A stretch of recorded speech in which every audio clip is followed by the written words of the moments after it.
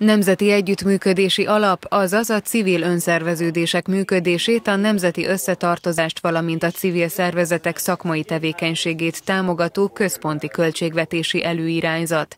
Öt kollégiuma van az alapnak, a pályázati kiírások hamarosan megjelennek, mondta az Áhonyi Civil Információs Rendezvényen a Megyei Civil Információs Centrum operatív igazgatója.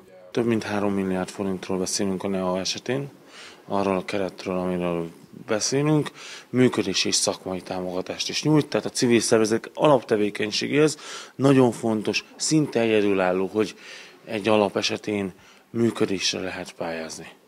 A szakmai program az pedig azt gondolom, hogy nem kell magyaráznom. Szintén nagyon fontos, hogy egy nagyon alacsony önrészsel, 10%-os önrészsel megpályázható, és ez is akár tárgyi eszközzel, illetve önkéntes munkával is igazolható önrész. Tehát azt gondolom, hogy a civil szervezetek helyzetére nagyon-nagyon komolyan reflektáló pályázati lehetőségről van szó, és amit még szintén megemlítenék, hogy a NEA szakmai programja keretében kiemelten támogatja a határon átívelő magyar-magyar civil együttműködéseket, amely egy három határmenti megyében különös lehetőséggel bír.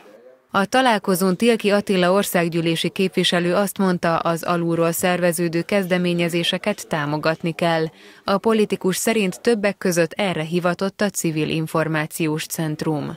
Folyamatosan kapcsolatot tart a civil szervezetekkel, és fölhívja a figyelmüket arra, hogy milyen pályázatokat lehet beadni.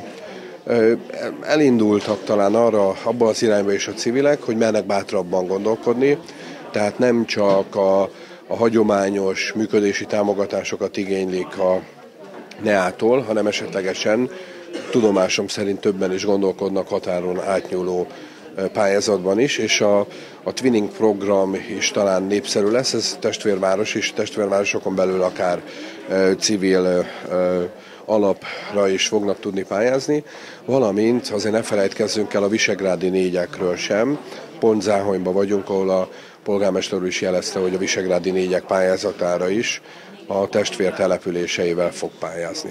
Többek között helyi, zsurki és Tiszabeszdédi szervezetek képviselői vettek részt a Civil Információs Centrum Záhonyi rendezvényén, ahol elhangzott a közeljövőben várhatóan Ibrányban és Csengerben is rendeznek tájékoztató fórumokat civileknek.